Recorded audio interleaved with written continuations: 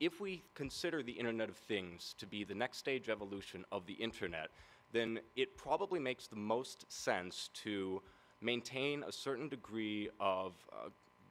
continuity in government policy as to how it is the government and administrative agencies uh, should actually view the Internet.